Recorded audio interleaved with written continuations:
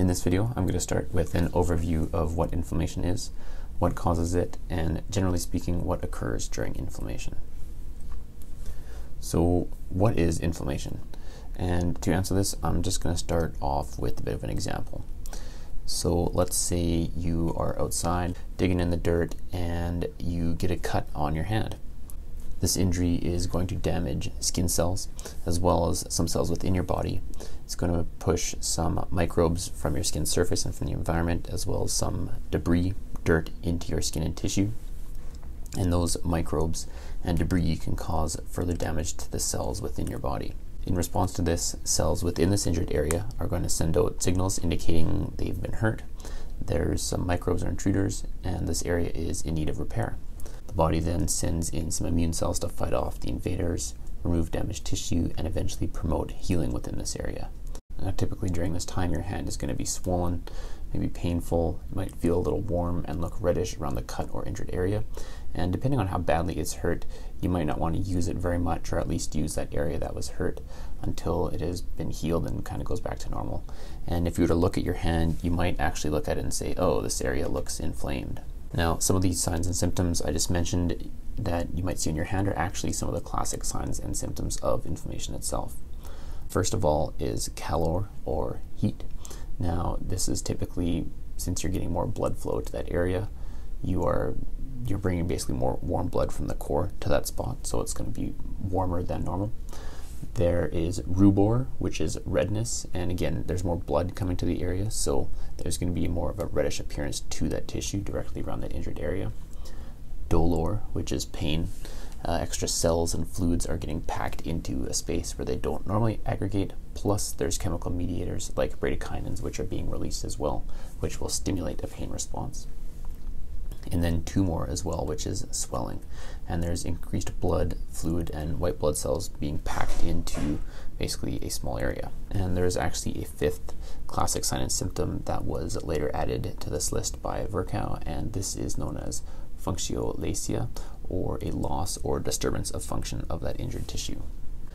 So you might say to yourself that these signs and symptoms all seem harmful or bad, but generally speaking, this is a misconception.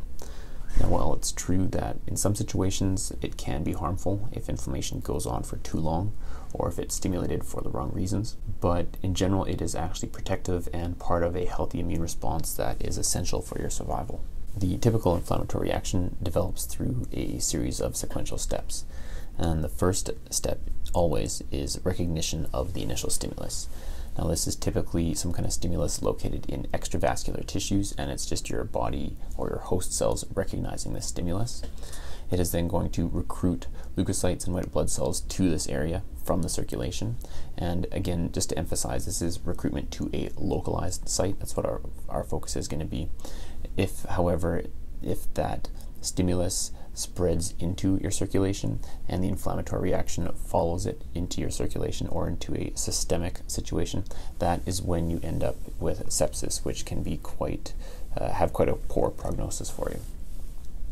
Cells involved typically are neutrophils, and these are mostly seen in acute inflammation, and then you'll see more macrophages and lymphocytes in chronic inflammation once that reaction has coming to an end, it's going to be controlled and terminated. Mediators that were stimulating inflammation get broken down.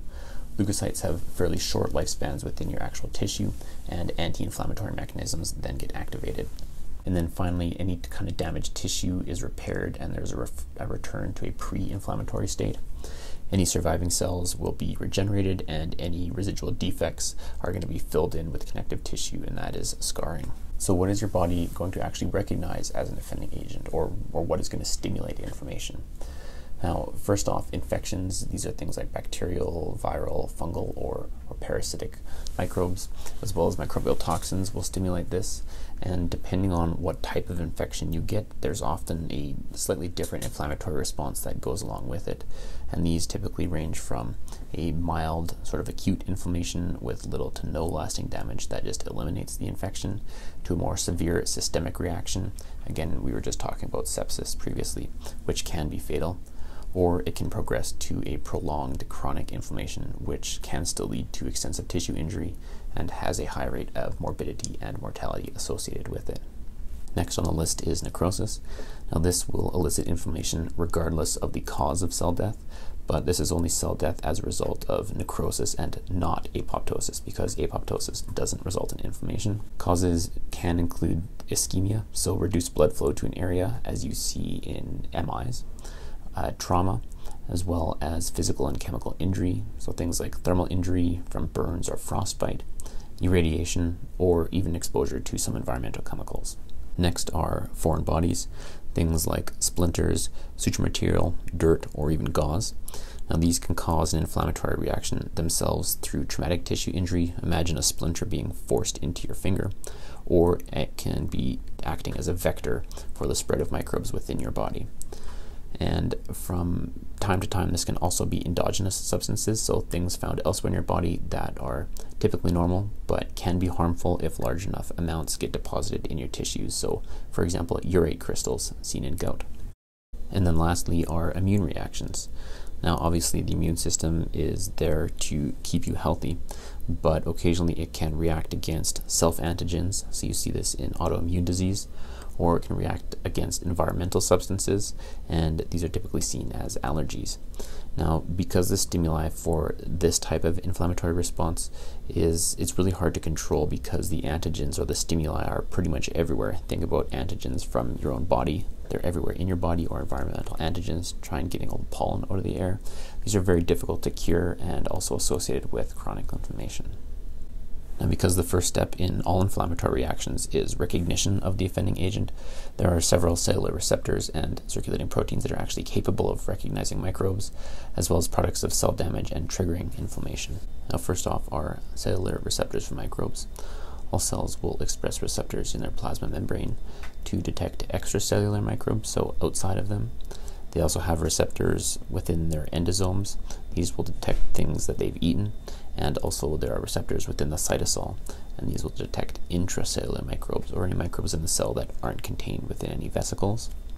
And this allows cells to detect microbes or foreign invaders within basically any compartment of the body. A good example of this are the toll-like receptors or TLRs, and these receptors detect structural components and proteins found in microbes like bacteria. And then activation of these receptors will trigger the production of molecules involved in inflammation. There are other sensors that detect cell damage. Now, all cells have cytosolic receptors that recognize various molecules that are either released or altered when a cell is damaged. For example, uric acid from DNA breakdown, ATP from damaged mitochondria, or even a reduction in intracellular potassium concentrations due to a loss of plasma membrane integrity. These receptors, once activated, will go down a cascade of steps which culminates in the induction of inflammation as far as other receptors are involved. There are receptors, of course, for detecting microbes, but many leukocytes or white blood cells express receptors for the Fc tail portion of antibodies as well as complement proteins. And what these will do is they recognize microbes that are coated with antibodies and complement. And this coating process is called opsonization. And any opsonized microbes are actually promoted for ingestion by white blood cells. And then lastly, circulating proteins. So the complement system reacts against microbes and will produce as well mediators of inflammation. More on these in a later video. One of these proteins, called mannose binding lectin, will actually recognize microbial sugars and again promotes ingestion of the microbes and further activation of the complement system. And after recognition of microbes or damaged cells, the body will progress towards an acute inflammatory response.